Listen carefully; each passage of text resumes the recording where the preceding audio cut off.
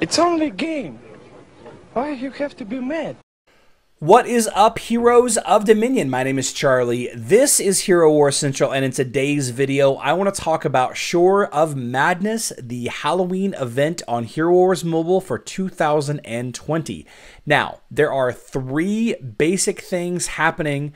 Uh, even though this lobby is quite extravagant and things are swimming all over the place, and you know apparently we're underwater now, but there are three things that are happening in this event. And I want to talk about each of them in turn. First of all, buyable bundles these new uh, these new purchasable items there are six of them and these are going to rotate in uh, in a little over a day so tuesday evening roughly 48 hours from now these bundles are going to go away and the emerald sale is going to come upon us so uh, buy these bundles now uh, or you'll never see them again uh, after tuesday evening whoops too many clicks there. We have the Shore of Madness event, uh, and it is a seven day event. Now, these seven tasks, some of them are repeatable, which means once you complete the entire list of tasks on that, that particular tab, it resets and you can do them again. Uh, so it's kind of hard to count, but what you're trying to get are these ancient scrolls. And the ancient scrolls are what you use to fight the campaign missions and the boss fight in the Shore of Madness adventure map, which I'll show you in just a second. So we have spend emeralds, we have uh, spend energy, 4,000 energy, but of course it resets. We have win battles in Outland. This is not um, this is not uh, open Outland chest. This is win battles.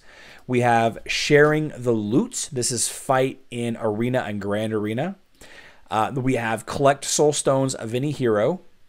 Okay, 300, but it's repeatable. We have Fresh Wind, which is promoting the new hero Yasmine to orange rank. And then we have Guiding Lighthouse, which is log in seven times. And the cool thing about this particular task is this is where you're going to get the two avatars, the little uh, shark villager, uh, the sad shark villager, and the serpent avatar frame kind of cool there now all of those all of those scrolls are used to fight the boss but um, we have the uh, this uh, this portal here that takes us into the adventure map or the uh, the event map. And there's a little bit of a story to it. I'm not going to spend too much time reading through the story or anything like that. If you want to check it out, absolutely go check it out. But it's pretty straightforward. Um, effectively, what's happening here is a nice little storyline having to do with Cthulhu, which who's a, a mind controlling uh, giant sea monster, Yasmine, who is the new hero, which I've done plenty of videos about Yasmine, and uh, and and you know the the events surrounding all of that. Before we get into this little campaign thing, I want to bring your attention to a couple of things on the map. Right here, we have Yasmine coins. This is the event currency. This is what you're going to collect to go into the merchant to buy things. All right. We have, whoops, we have the ancient scrolls. You need ancient scrolls to perform missions in the campaign, in uh, to fight the boss, which you'll see as we advance the storyline here. Uh, we have this little icon right here. This is a free 12 scrolls. Just click it. All right, claim it. That's it. That's all you got to do. In two hours, it'll pop back up again. Uh, I'm not sure what the next cooldown is going to be, but make sure you continually click on that. We have quests right here, and this is taking the place of those swords that are sticking in the ground in previous events. And basically, what these are, these are small little tasks that are relatively easy to do. Uh, you perform these tasks, you get one of these ancient scrolls. Uh, and um, you're going to be able to earn six to seven ancient scrolls per day. I believe this will reset every day. In the past, it has reset every day. We're not sure yet if it's going to reset every day. Of course, check it tomorrow. It'll be back, or it won't. Who knows? But then you just kind of jump into the storyline, and as you work through it, you're gonna fight. Uh, you know, you're gonna fight this um, this boss, and this is Yasmine she's going to be the same team level as your team level. I'm sorry, she's going to be the same level as your team level. So just, you know, fight her with your best team. There we go. You know, just fight her like you would anything else. Fight her however you want to fight her. Take, you know, you know, it, it doesn't matter. It doesn't matter. This fight is pretty straightforward and, and, and very easy to do. And this is when you collect one star Yasmine. All right, you collect some skin stones, you collect some of the uh, collect some of the Yasmine coins, uh, you get a one star Yasmine, and away you go. Then you talk to her. Basically, she tells you that she's been under mind control. That's why she attacked you.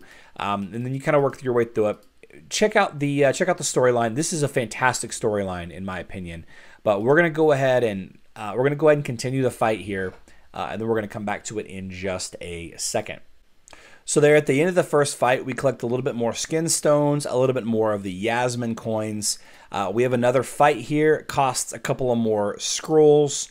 Uh, you know, just grab the grab the members of your team, go ahead and fight this fight, and then we'll move on to Lord Karkthulu. Now, as you can see, we get a couple more skin stones, some more of these Yasmine coins, uh, and then here we are. Did you think you came here of your own free will? The will was mine. From now on, only my will matters. Excuse me, Karkthulu. I'm trying to record a YouTube video here. I don't have enough scrolls to fight him just yet. I only have two. So I'm going to back out and perform a couple of these tasks. First, I'm just going to, you know, I'm just going to jump in here and do a couple of them, back out, grab that. Thank you. No worries. Spend Outland coins. Um, you know, we're going to buy, I hate to spend the Outland coins on this, but we're just going to go ahead and spend them there. Uh, complete that. Thank you.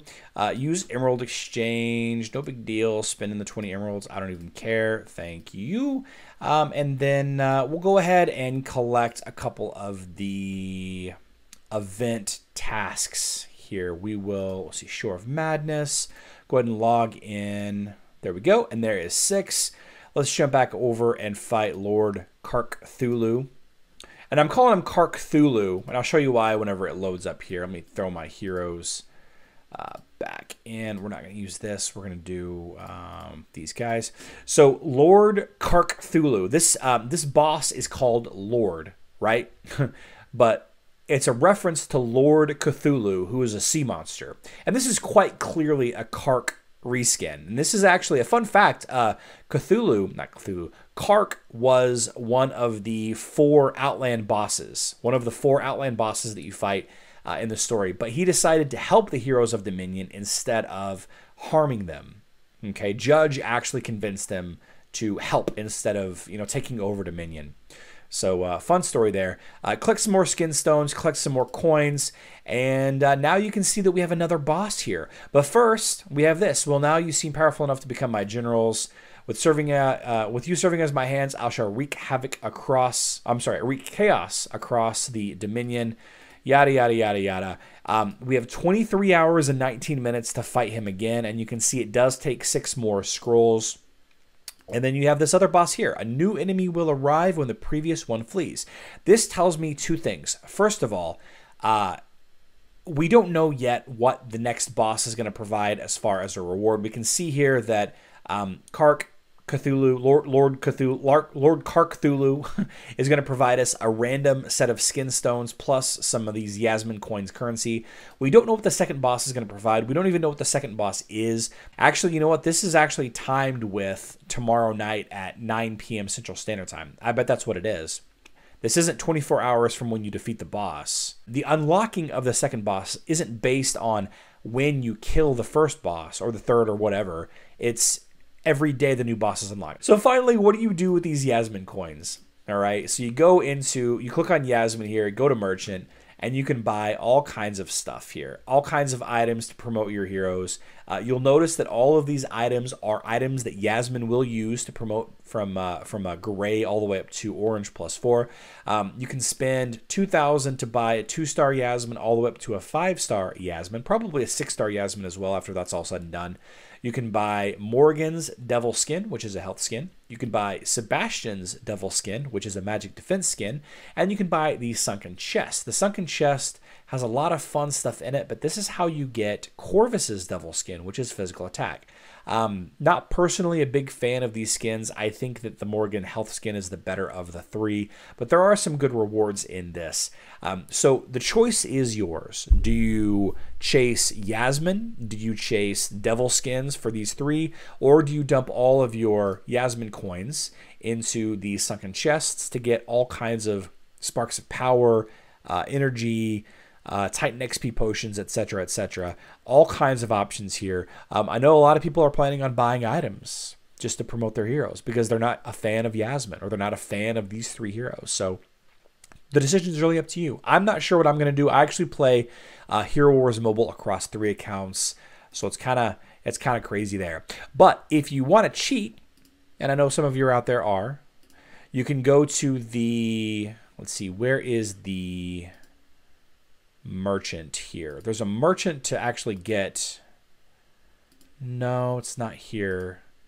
Is it this guy? Oh, here it is. Here it is. You can buy Yasmine coins with emeralds. All right. So we have to do some math on whether or not this is worth um, compared to doing the events. I'm not sure if it is or not. Um, there is there is going to be a conversion right there between spending emeralds on you know arena and fighting outland and you know that kind of stuff buying energy to get you know to spend ener- i'm sorry buying energy with emeralds to complete campaign missions to get this spend energy requirement on the uh, on the event tab uh, versus doing this. And this is going to be the least efficient way to do it, but it's going to be the fastest way. So people are going to um, people are going to spend a lot of money to get Yasmine up to five, six stars immediately. They're going to do it to get all the skins immediately.